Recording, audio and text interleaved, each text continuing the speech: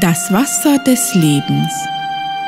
Es war einmal ein Junge, der in einem Land lebte, wo der Winter fast das ganze Jahr hindurch tobte.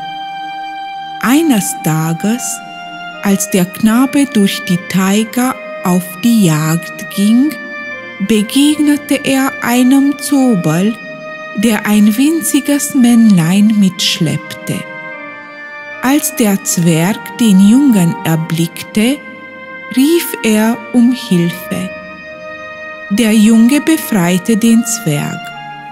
Dieser erzählte dem Jungen, sein Volk lebe in der Taiga, sie würden sich mit den unter dem Schnee gefundenen Pilzen ernähren und auf Kaninchen reiten.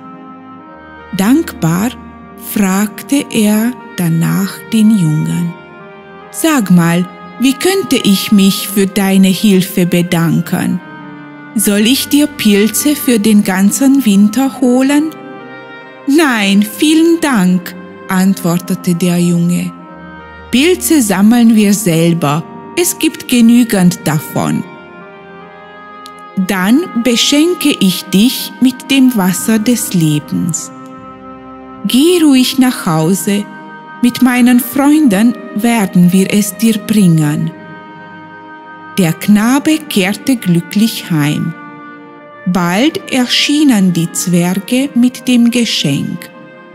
Beim Anblick der auf Kaninchen reitenden, merkwürdigen, bärtigen Elfen begannen die Dorfbewohner laut zu lachen.